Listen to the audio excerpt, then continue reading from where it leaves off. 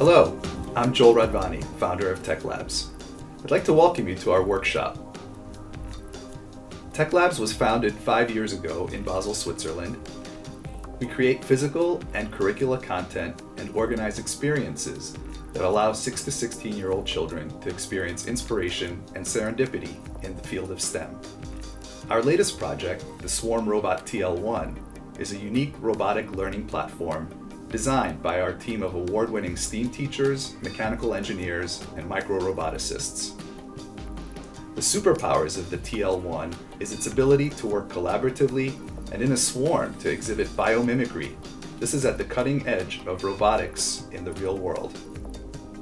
And now let's hear from Laurent Negron, our award-winning STEM teacher who was the brains behind the Swarm Robot TL1. Thanks, Joel. Uh, within my 21 years as a STEM teacher in the French uh, public system, I worked with a lot of robotic uh, platforms from the market. TL1, our um, swarm robotic platforms here at Tech Labs, is the culmination of my experience. TL1 can be used in all STEAM fields. Robotics, of course, but not only. How does a group of animals or cells work together in an organized way when no one is in charge?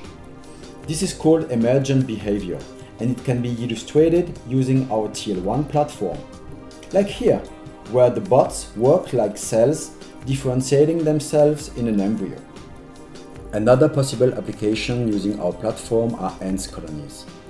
Ants' ability to explore large unknown areas is unique you can mimic this capability using TL1s and their ability to feel each other using the strength of a radio signal and multiple sensors.